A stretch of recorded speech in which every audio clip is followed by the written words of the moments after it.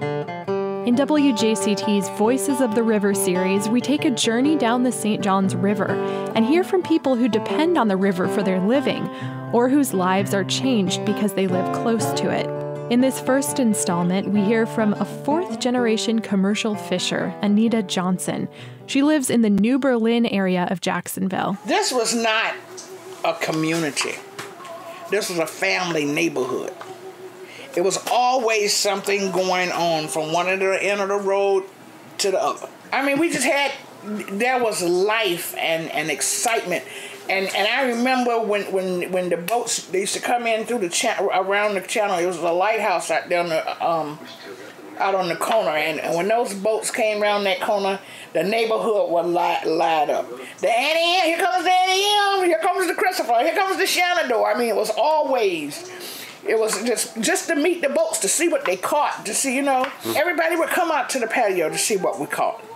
You know it, was- it was excitement just to see how many fish you had you know what kind of fish uh, can i get a mess for dinner? You know it was always something. Every family just about had a trawler but everybody had a boat. So there was always traffic in the river. But you're not allowed in the river now because of the shipping industry. They will run over you when they took away the fishing industry and people had to go elsewhere for employment, the community died. The gill netters were the ones that fed the populace. They caught they caught the fish that are known as finfish. These were the inexpensive fish that black consumers used on a regular basis.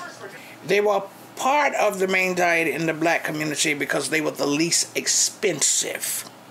So there have been people that had to cut seafood out of their diets because of the price.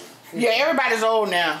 Cause we don't we don't get out like we used to when it was plentiful and available. We don't we don't get out and share. Now if you go buy fish and you paying seven, eight dollars a pound, the neighbor's not gonna know, okay? when they were when they were inexpensive or free, everybody could eat. But I am we are paying fifteen dollars for a dozen of crabs. Who you think gonna get some?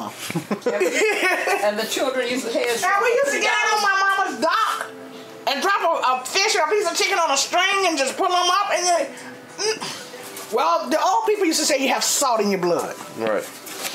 It's the salt, man. It's the salt. Yeah. It's uh, uh, fishing, being out there in the universe. Um, it's it's addictive. I mean, it was it's hard work, but it's the most fun you could have. I loved being out in the middle of the river, away from all humans, looking up at the sky, communicating with God, and hearing the water lap up against the side of the boat. There's nothing more tranquil, more peaceful, or more natural than being out in that water with God and peace. That was retired fisher Anita Johnson in an interview recorded at her Jacksonville home. This segment was produced by WJCT's Mary McIntyre from an interview recorded by the Florida Department of State. Our next Voices of the River segment takes us about nine miles up the river to Panama Park, just north of downtown Jacksonville. Here we'll meet Bruce Nipper and Robin Emmett, who goes by the name Dude.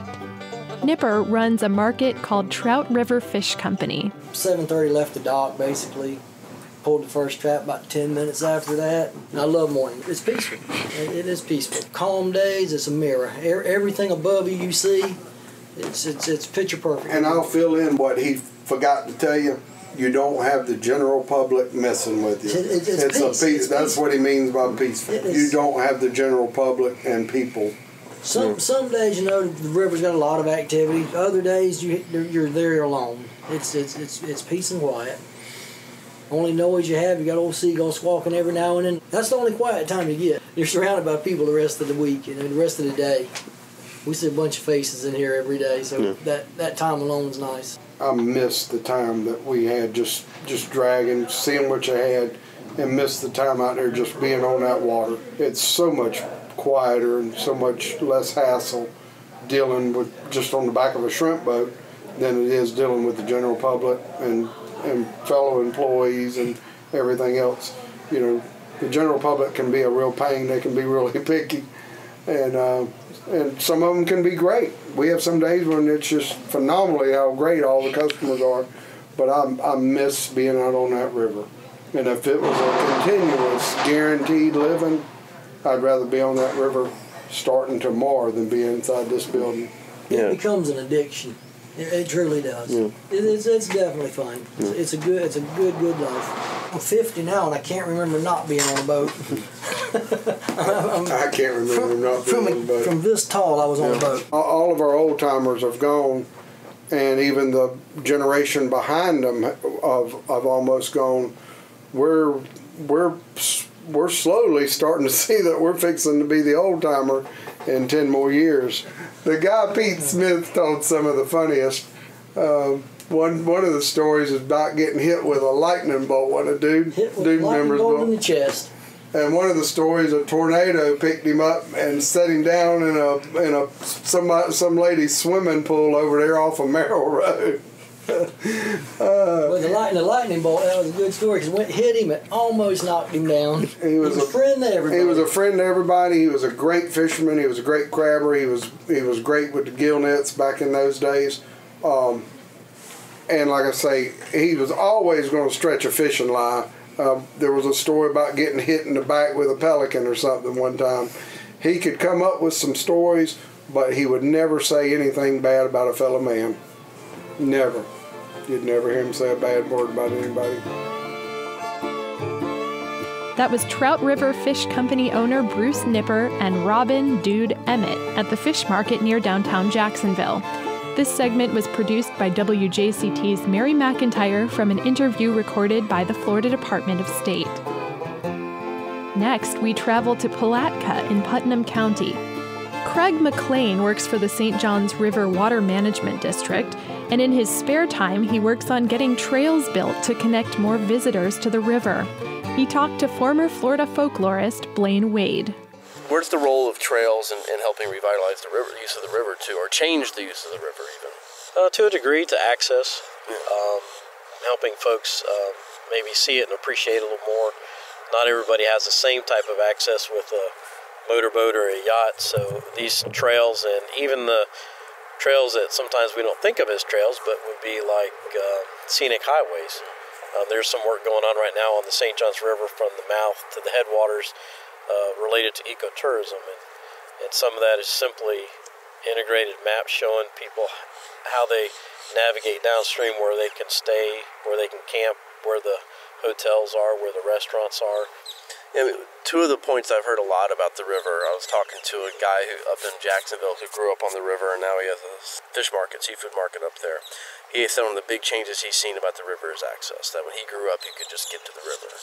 And then Belleville has talked to me about how, with the, you know, when when people use the river as a primary means of transportation, there's a different relationship. But with the advent of railroads and interstates, it became something you drove over. Exactly.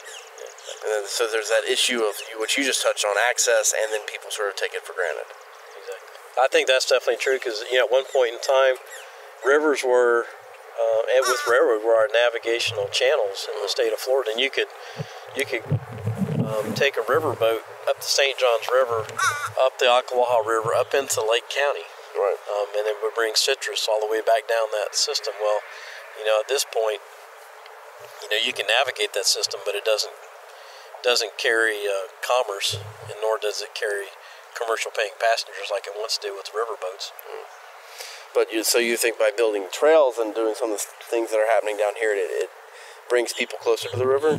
Yeah, I think it would uh, bring people closer to the river, and give them more interaction, and with some of the I call uh, intermodal aspects like the train station and the riverboat that the city's uh, getting ready to launch, that will give people more of a interaction with the river because it's different ways they can get on to the river. There's uh, social and cultural aspects of trails that bring people out.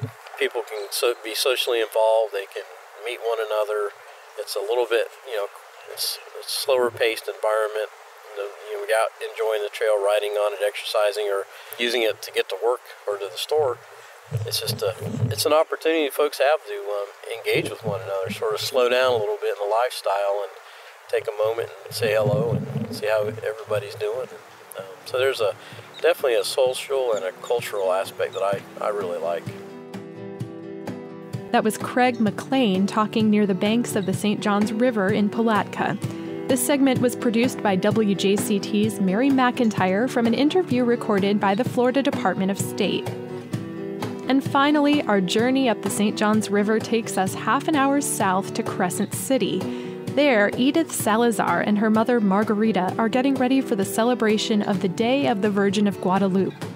The Salazars are from Mexico, and on this day, Margarita is cutting out paper decorations using a method called papel picado. Qué linda está la mañana en que vengo a saludarte. It's about the story. The song is about her story, uh, but um, usually the serenade talks about how do they find her, how much we love her, how much do she means to us. Levanta. Is what your um, your family, your mom, your grandma, your great grandma teach you, and um, they can sense they can give you like nothing else they that's the only thing that they leave you your traditions that's why it's so important to keep your traditions with you. Why people visit our house? Because they like our tradition of the day. She um, feels she feels so happy and so glad that they go and see our tradition because she says uh, for some of them um, they don't see us they see us different and she likes them to go because she feels like whoever goes they think that we're not different from the other people we're the same even though we're like from a different country or different color or different culture when we used to live in Mexico and we're now that we're living here, we have we carry the same traditions and we haven't changed nothing. So she's like, it's just mostly the same. Y yo me siento contenta aquí porque también les gusta. And she's really happy about it because even though we're in a different country, we can continue like you know, uh, doing our traditions and celebrating our traditions. será por curiosidad o que yo no sé. and she, when they go and visit, she doesn't know if they just go just to you know see what is going on or they really go to see what we do. Some of people in the community ask her to do the papel picado for different occasions. Yeah, so she just doing it for fun and because she likes to do it. Because she understands and some people doesn't know how to do it. And you know some people charge to do like decorations for different occasions. And she does does it because um, she doesn't wants to get a rate you know like if you don't know she would really like to like help you out and teach you how to do it and do it for you. But uh, she doesn't like to charge or nothing like that. She just like doing it because of um, she likes to do it de Nueva España, soy mexicana, vengo a dejarles mi corazón. That was Edith and Margarita Salazar at their home in Crescent City. This segment was produced by WJCT's Mary McIntyre from an interview recorded by the Florida Department of State.